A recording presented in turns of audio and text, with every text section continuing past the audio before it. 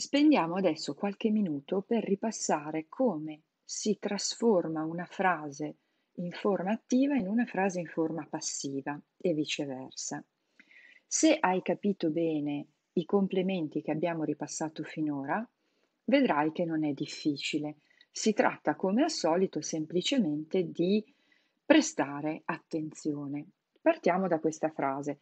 Le stelle rischiarano la notte e facciamo la nostra analisi. Individuiamo immediatamente il predicato che è rischiarano, predicato verbale. Ci poniamo la domanda perché abbiamo riconosciuto un verbo in forma attiva. Chi compie l'azione di rischiarare? Risposta le stelle e sarà il nostro soggetto. Le stelle rischiarano che cosa? La notte. Complemento oggetto. Bene. Come facciamo a trasformare questa frase di forma attiva in una frase di forma passiva? Bisogna cambiare il soggetto e il complemento oggetto. Cioè, il complemento oggetto della frase attiva diventerà il soggetto della frase passiva. Quindi noi prenderemo la notte e la facciamo diventare il soggetto della frase passiva.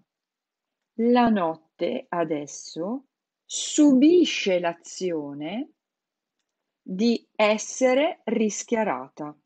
Allora scriviamo semplicemente essere rischiarata. Lo teniamo un attimo qua in sospeso, eh? questo verbo. Bene, abbiamo detto che nella frase passiva c'è qualcuno che comunque agisce. Chi diventa complemento d'agente? Il soggetto.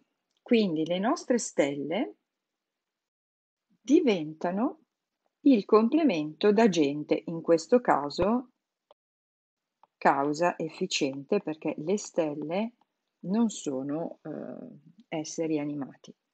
Sappiamo però che il complemento di causa efficiente è introdotto dalla preposizione da, quindi le stelle dovrà diventare dalle stelle. Benissimo, quindi il soggetto della frase attiva diventa il complemento d'agente o di causa efficiente. Il complemento oggetto della frase attiva diventa il soggetto. Adesso però dobbiamo sistemare il predicato. La notte essere rischiarata dalle stelle. Come facciamo a sapere qual è il modo e il tempo giusto in cui mettere il nostro verbo? Perché spesso, andando a intuito, andando a orecchio, si commettono degli errori, che sono comunque degli errori. Cioè, non basta trasformare il verbo da attivo in passivo, lo devo anche trasformare nel modo giusto, altrimenti commetto un errore. Come faccio? Rischiarano è indicativo presente.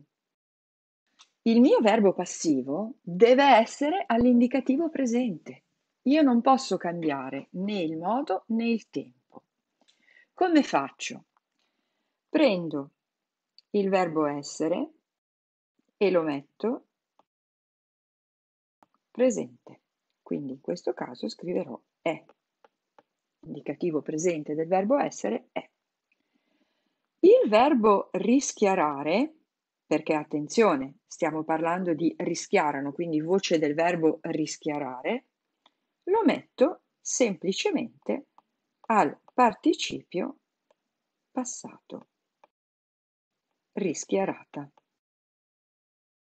Quindi la mia frase diventerà la notte è rischiarata dalle stelle. Ricapitolando, passando dalla forma attiva alla forma passiva, il complemento oggetto della forma attiva diventa il soggetto, il soggetto della forma attiva diventa il complemento d'agente o di causa efficiente, dopodiché io devo stare bene attenta al mio predicato e devo trasformarlo mantenendo però modo e tempo della frase attiva. Quindi io agirò sul verbo essere e poi aggiungerò semplicemente il participio passato del mio predicato. Facciamo un altro esempio. Il preside rimproverò l'alunno. Proviamo ad applicare quello scambio che abbiamo visto prima. Sappiamo che il preside è il soggetto, rimproverò è il nostro predicato verbale e l'alunno è il complemento oggetto. Abbiamo detto che dobbiamo scambiare i posti, quindi il complemento oggetto sappiamo che diventa il soggetto, quindi partiremo con l'alunno. Sappiamo che il soggetto diventa, in questo caso, il complemento d'agente, perché abbiamo una persona, e quindi scriverò dal preside, perché è ovvio che cambiando la funzione cambiano anche le preposizioni. Adesso devo sistemare il verbo. Rimproverò è un indicativo passato remoto.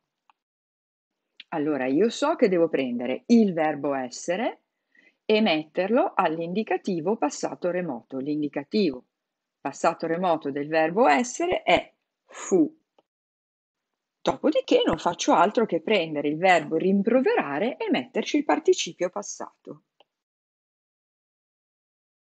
L'alunno fu rimproverato dal preside e io so di avere fatto tutto giusto perché il soggetto è diventato il mio complemento d'agente nella frase passiva, il complemento oggetto è diventato il mio soggetto e il verbo l'ho coniugato esattamente come deve essere coniugato. Ovviamente la stessa regola vale al contrario. Prendiamo una frase passiva. Il giocatore era incitato dai tifosi. Era incitato, predicato verbale, passivo. Allora mi devo chiedere, chi subisce l'azione di essere incitato? Risposta: il giocatore, che quindi è il soggetto della frase. Chi è che agisce? Il giocatore era incitato da chi? Dai tifosi, che diventa il mio complemento da gente. Sono loro che agiscono. Il soggetto subisce la loro azione. Bene, questa è una forma passiva. Adesso la devo trasformare in attiva. Non faccio altro che applicare la regola che abbiamo visto prima al contrario.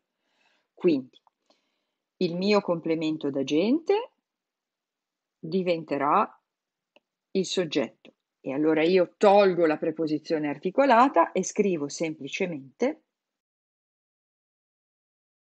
tifosi. So che il mio soggetto della frase passiva, che cos'era nella frase attiva? Il complemento oggetto. E allora lo metterò qui e scriverò il giocatore. Adesso devo sistemare il verbo. Anche qui non faccio altro che applicare il contrario di quello che ho imparato. Era incitato. Vado a vedere il verbo essere perché questo sappiamo già che è il participio passato, no? Lo sappiamo già. Participio passato. Devo andare a vedere il verbo essere. Che cos'è era? Era è un indicativo imperfetto. Allora, come sarà il mio verbo nella frase attiva? Sarà un indicativo imperfetto sarà l'indicativo imperfetto del verbo incitare. E allora scriverò i tifosi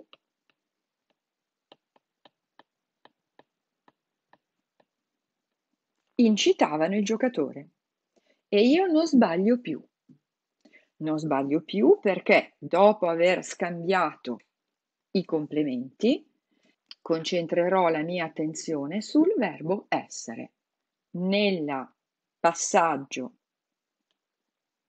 dalla frase attiva alla frase passiva, io concentro l'attenzione sul verbo essere nel senso che il verbo essere deve rispondere alle caratteristiche del verbo attivo. Se invece ho già una frase passiva, il verbo essere è quello che mi dà le caratteristiche del mio predicato. Una volta che ho imparato questo, riuscirò ad analizzare e a trasformare le frasi senza commettere errori.